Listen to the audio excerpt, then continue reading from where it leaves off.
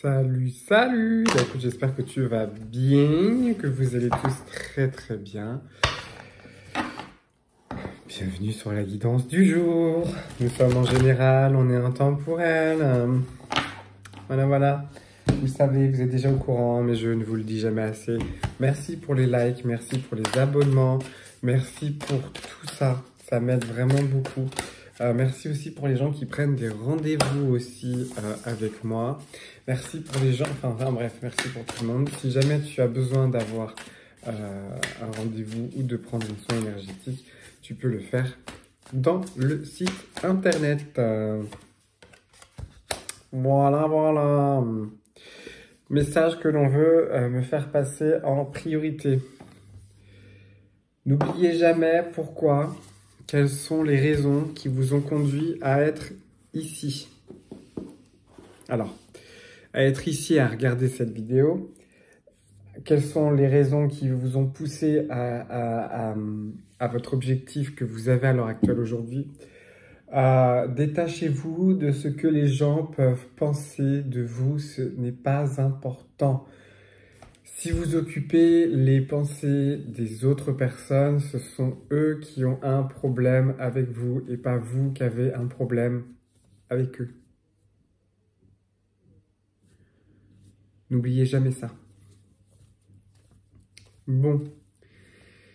Il y a quelqu'un qui veut vous demander pardon parce que quoi? Parce qu'en fait, au final, cette personne, elle se sent vulnérable à l'heure actuelle en ce moment. Cette personne a mis va mettre effectivement énormément de temps avant de revenir vous demander pardon parce que cette personne-là se pose la question si vous, si vous êtes, si, si vous faites partie d'une relation karmique. C'est quelque chose qui est pour cette personne-là, qui est visiblement très important à l'heure actuelle de vous faire passer comme message parce que cette personne est en train de se rendre compte euh, de tout le mal que cette personne-là vous a fait mais en fait, de votre côté aussi, vous êtes en train de vous rendre compte que, euh, bah, que en fait, vous attirez d'une certaine manière la jalousie par votre capacité.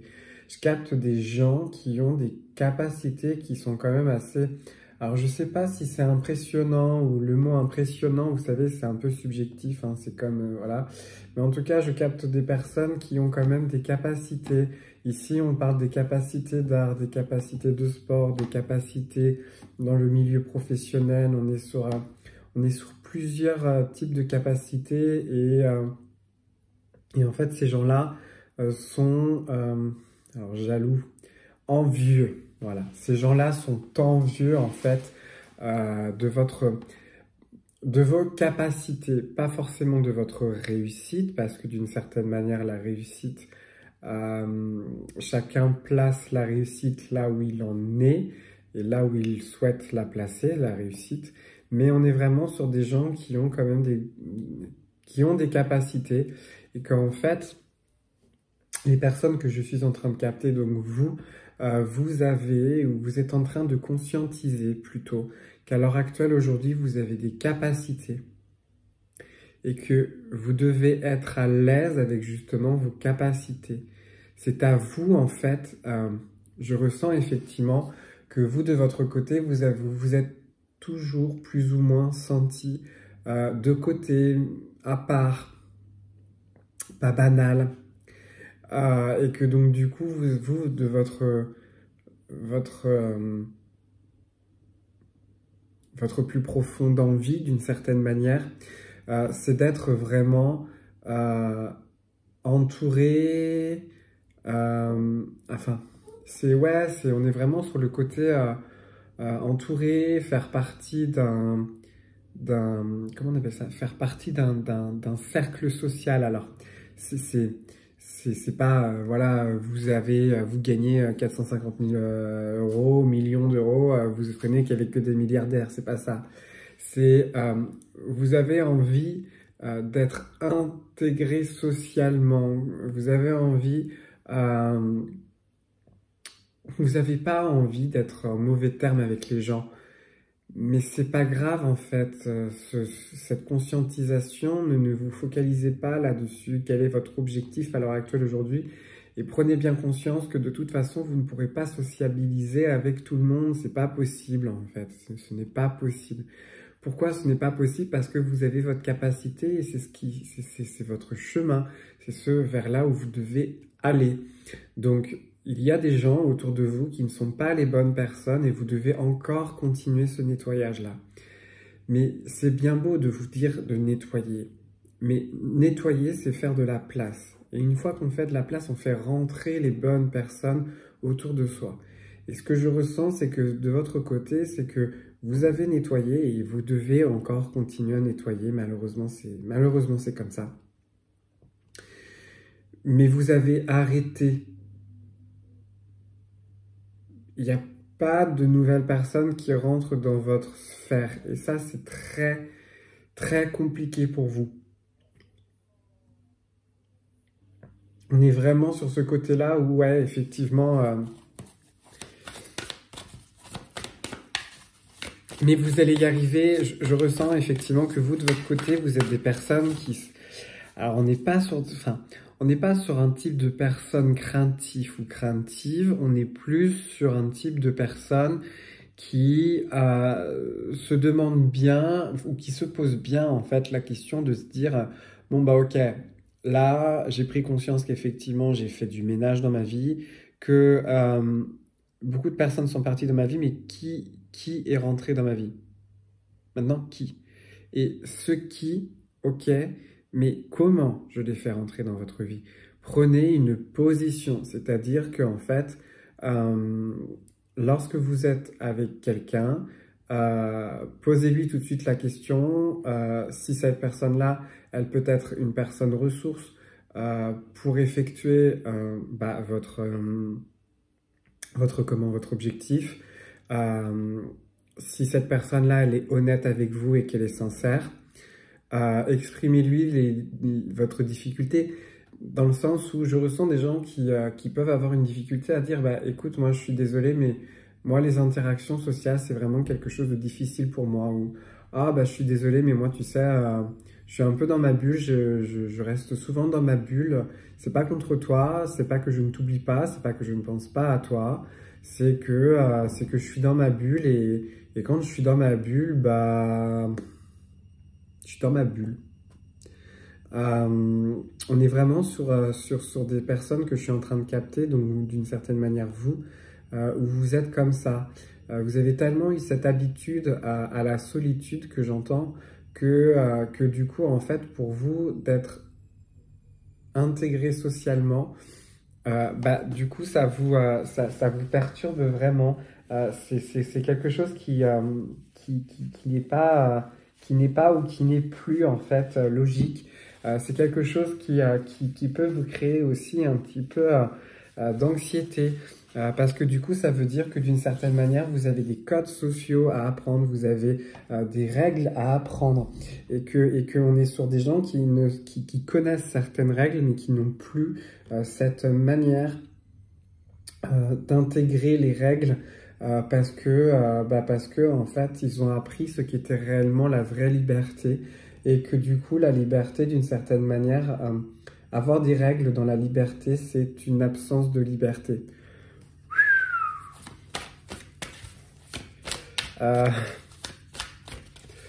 ok ok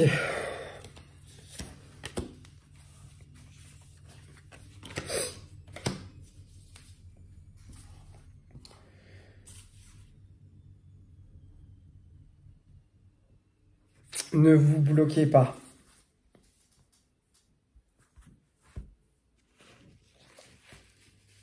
Alors, vous de votre côté, ne vous bloquez pas vis-à-vis de vous, mais vis-à-vis des autres. Vachement difficile. Euh, enfin, plus facile à dire, plus facile à dire qu'à faire, de ce que j'entends et de ce que j'en ressens. Euh, en fait, ne vous bloquez pas à la rencontre ne vous bloquez pas à la rencontre. Acceptez la rencontre, rencontrez. Mais je capte ici des gens qui sont quand même très... Euh,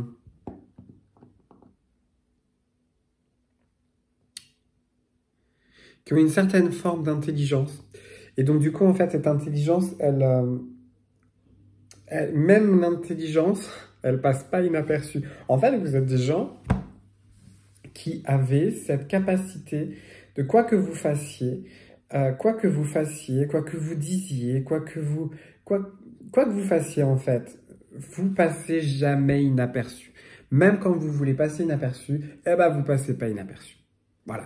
Donc, vu que vous passez pas inaperçu, ça vous a mis énormément de temps parce qu'il y a effectivement cette conscientisation. C'est que non seulement déjà de 1, euh, vous passez pas inaperçu, même quand vous voulez passer inaperçu, bah, vous passez pas inaperçu, du coup vous passez encore moins aperçu. En fait, on vous remarque. Quoi que vous fassiez, quoi que vous disiez, on vous remarque. Vous êtes une personne euh, qui avait une certaine aura, qui dégageait quelque chose. Et donc du coup, au final, vu que vous dégagez, quelque chose, eh ben, ça passe pas inaperçu. Vous inspirez énormément les autres. Ici, je capte quelqu'un qui inspire les autres. Et c'est pour ça que cette personne va revenir vous voir. Parce que vous êtes inspirant ou inspirante. Vous vous inspirez. On a une personne ici maintenant qui en a dans la cervelle. Mais pas qu'un peu une tête bien remplie. Euh... Bah ouais. Cette personne qui va revenir vous voir, normalement, lorsqu'elle va revenir vous voir, d'abord déjà de un, vous, vous êtes guidé vers là où vous devez aller, ça c'est sûr. Par contre, l'autre personne va finir par, elle, être guidée via, vers son intuition, vous êtes quelqu'un qui inspirait. Ici, je capte des gens qui ont une réelle inspiration ou qui s'inspirent. Alors, c'est vous de votre côté, vous, alors, vous vous inspirez de pas mal de gens. Alors, on n'est pas sur, alors, vous vous inspirez. Oui et non. En fait, je capte des gens qui ont des idées, qui viennent comme ça, euh, quand ils regardent d'autres choses ou quand ils vont visiter d'autres choses, de, il y a des idées qui viennent comme ça ou qui vous viennent comme ça quand, quand, vous, d'abord déjà de un, quand vous ne cherchez pas forcément, de un, et puis de deux, euh, quand vous êtes euh, aux antipodes de votre objectif. Et donc du coup, c'est de votre différence et de la différence vous vous en nourrissez pour que vous puissiez adapter cette différence pour atteindre cet objectif. Ça va être un message qui va être très... Euh, qui va être très... Euh, qui va pas parler à tout le monde. C'est vraiment... Euh, ici, on dit que, que de votre côté, ou que ce soit de, votre côté ou de la, de la personne qui va revenir, euh, vous avez un réel travail au niveau de la communication à effectuer. Euh, effectivement, c'est vrai que d'une certaine manière, euh, vous de votre côté, le fait, alors, le fait de votre côté, vous soyez dans une énergie ou dans une présence de, comment on appelle ça, De votre côté, vous avez fait le ménage.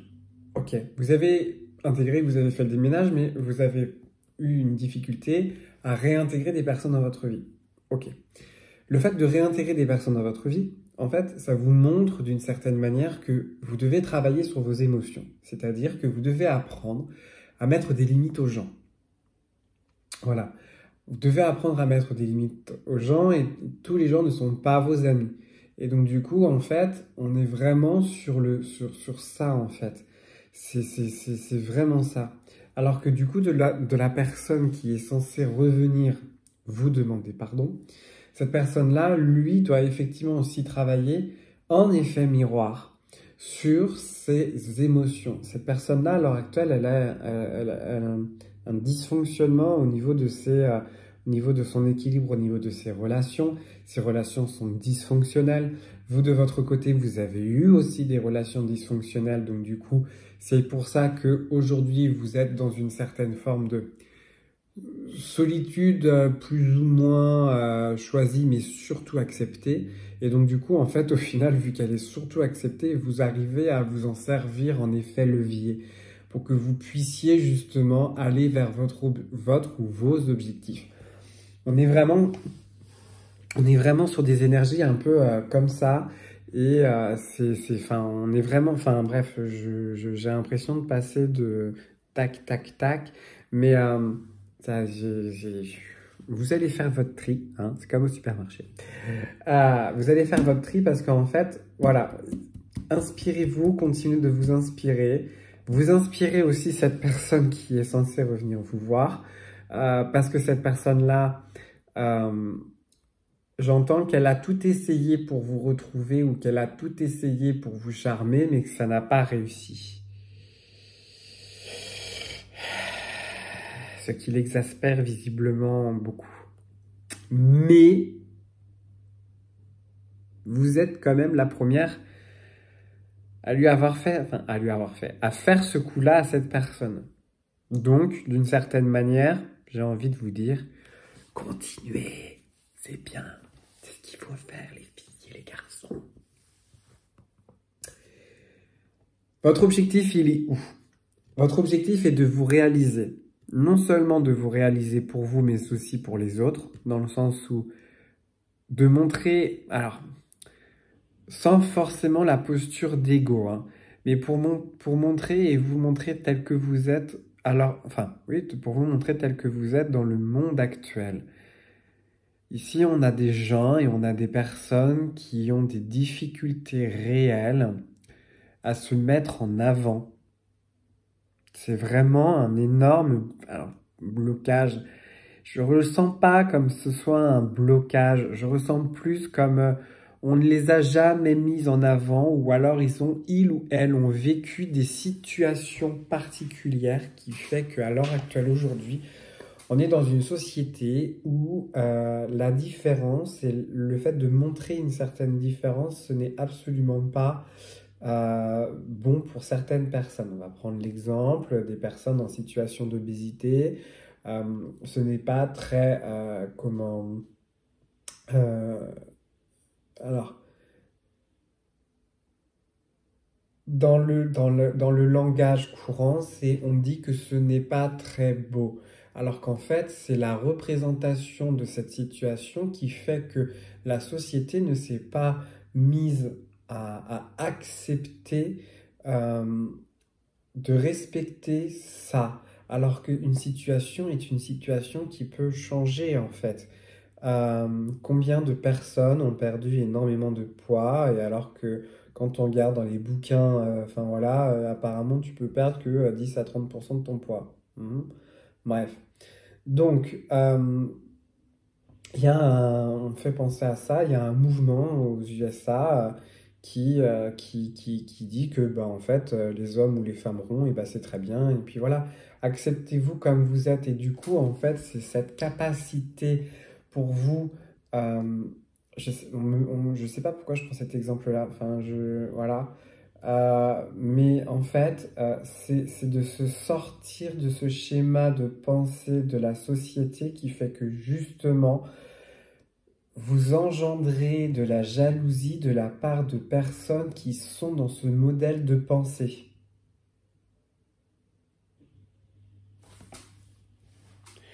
J'espère que c'était compréhensible. Parce que pour moi, dans mon esprit, ça l'est. Et du coup, ça explique pourquoi, pourquoi il y a autant de jalousie dans votre vie, autant de gens jaloux de votre réussite. Parce que vous ne faites pas partie du modèle de société.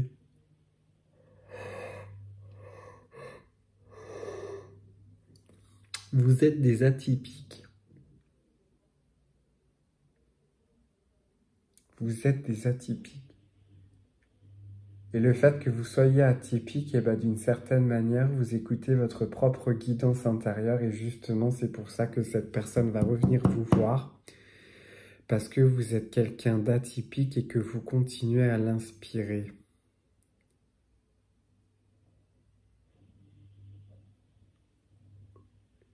Mais qu'effectivement, avant qu'elle ne revienne vous voir, vous devez encore aller vers votre réalisation de vous-même.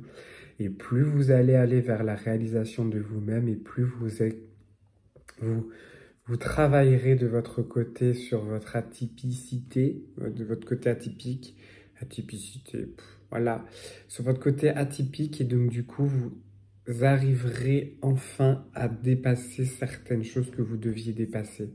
On est vraiment sur un, on est, on est vraiment sur un type de personne euh, qui visiblement ou alors je ne capte que des atypiques euh, parce que euh, moi je fais de l'athlétisme.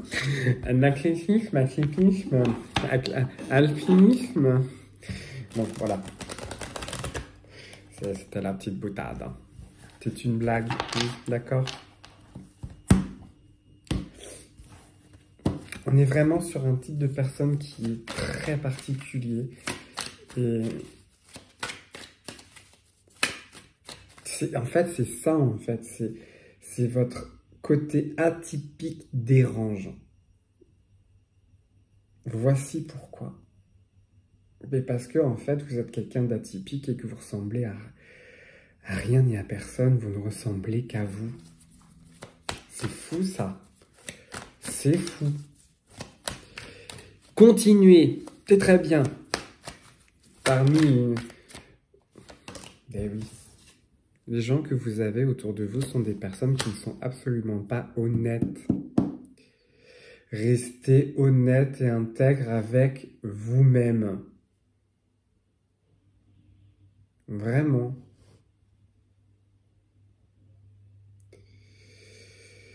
Vraiment, vraiment, vraiment.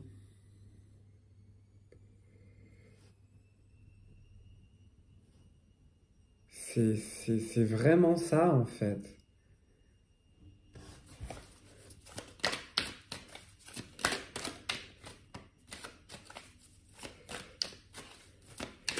Il y a des gens qui vont partir. Il y a des gens qui vont partir.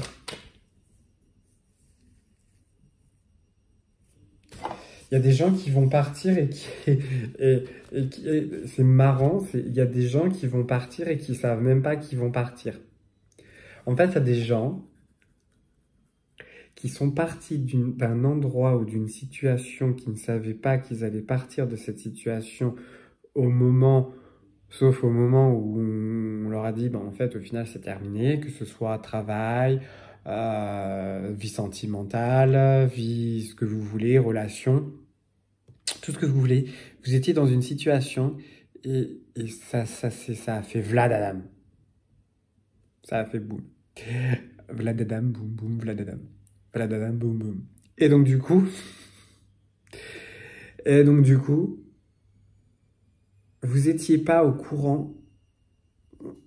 En fait, ça vous est tombé comme ça sur le coin du nez. Et du coup, en fait, mais ça, c'est une, ça, c'est un exemple qui était il y a, ce que je ressens, c'est que c'était il y a longtemps.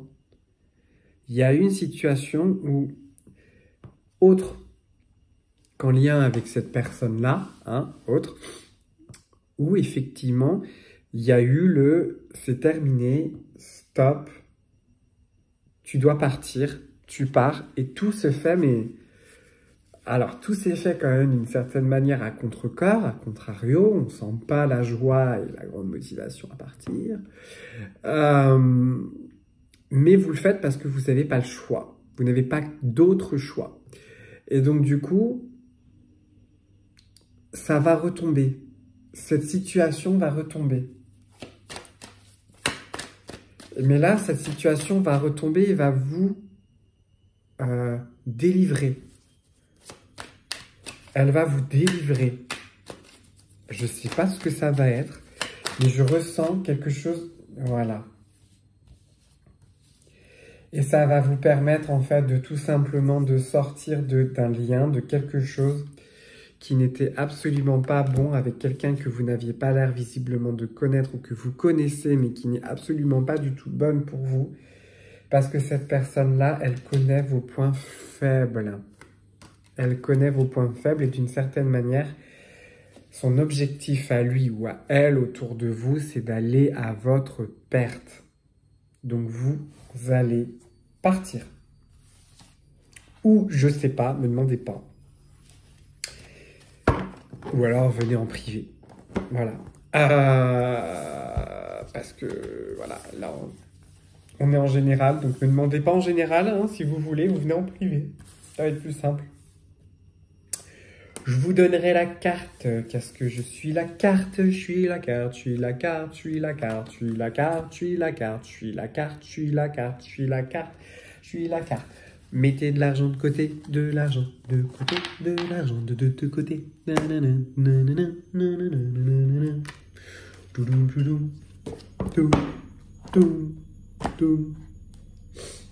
Oh là École. Il y a toujours une école dans l'existence d'un rêveur. Adolescent, il se trouve sur les bancs de l'école. Adulte, il s'en souvient. Mais grand ou petit, doué ou crancre, le rêveur demeure à l'école de la vie. Les devoirs, examens, punitions, les maîtres et les élèves permettent au rêve de visualiser avec beaucoup de vérité et d'à-propos, quelquefois fort ironiquement pour le rêveur, sa progression sociale et surtout l'évolution de son cheminement enfant-adulte. Si un rêveur passe avec succès des examens, le message est bienveillant. Il semble que le rêveur soit en train de réassir sa vie, quelle que soit la matière, l'aspect abordé. S'il se retrouve sur les bancs d'une école, et cette circonstance est parfois fort déplaisante lorsqu'un rêveur est arrivé dans sa vie réelle à une situation où il est davantage maître qu'élève. Il doit comprendre que malgré ses brevets, ses titres et ses diplômes, il n'est pas encore assez savant et que son inconscient n'est pas satisfait de ses connaissances. Peut-être d'ailleurs parce que le sujet est destiné à monter de classe. Si le rêveur ne sait pas ses leçons ou qu'il ne donne pas de réponse correcte, le rêve lui montre du doigt qu'il fait des erreurs ou qu'il est trop paresseux pour persévérer dans des réalisations nécessaires à son évolution. Il est possible que le rêveur triche dans son rêve. Dans ce cas, l'avertissement est éloquent. Il faut que le rêveur, s'il peut éviter des difficultés et des punitions, ne dupe pas et son entourage lui-même avec des aptitudes et des qualités qu'il n'a pas. Si un rêve d'examen, le rêveur est également l'examinateur, cette superposition permet de définir les sentiments de faiblesse, de culpabilité ou de sévérité que le rêveur peut avoir vis-à-vis de lui-même. Il peut arriver que le rêveur fasse l'école buissonnière, c'est trop bien ça. Euh, l'image est poétique pour l'inviter à sortir d'une clandestinité de sentiments ou de projets qui ne lui apportent rien. Enfin, si un rêveur se trompe d'école, ce qui peut être souvent le cas, euh, il est évident qu'il est en train de se foudroyer de se fourvoyer pardon, dans un style de vie qui ne lui convient absolument pas. C'est quand même marrant parce qu'il y a quand même des choses qui, euh, bah, qui sont... Je dis, ah tiens, ça, je dis ça, si. Ah tiens, je dis ça, ça. Ah tiens, si. Enfin, ça fait bim, bim, bim, bim. À mon avis, euh, ça risque de parler à pas mal de personnes. Bon, c'était les messages que j'avais à vous faire passer pour aujourd'hui. Joyeuse Saint-Valentin joyeuse euh, Toussaint. Et, euh, et, on se dit à la, à, la, à l'année prochaine, à la prochaine vidéo. Salut, ciao